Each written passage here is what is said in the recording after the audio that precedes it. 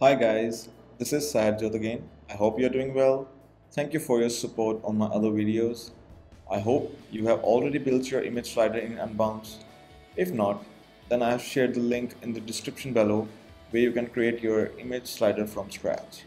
If you have already created it, you may have seen some problem with the call to action button in mobile view. So we'll quickly fix that in this video. Currently it looks like this in mobile view if you see it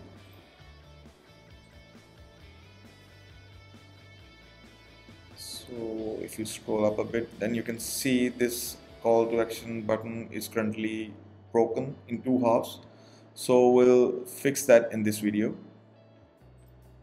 I have got plenty of requests to fix this uh, call to action button in this slider so I decided to make a quick video for it. So now we'll see how we can fix that. You need to go to the style sheets and you need to open this slider CSS over here this style sheet.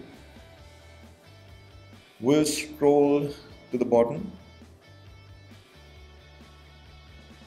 This is the class uh, that is used for the call to action button in the code that we have written for the slider claim button. So this is the class that we are using for it.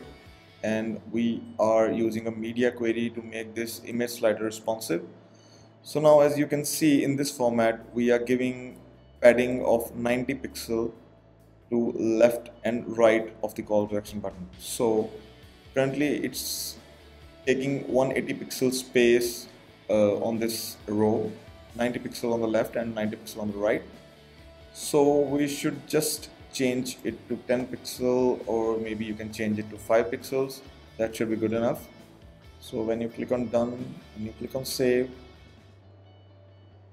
when you preview it you should see the call to action button is fixed. So we'll see it in the mobile view. There you go. Now you can see it's in one line it's not broken. It, it, the same class is applied to all the call to action buttons so you just need to fix it once and uh, it will be fixed for all the slides that you have in your slider. Right? I hope you find it helpful Please like it and subscribe to the channel for more tips. I'll be coming back with more videos. Thank you so much.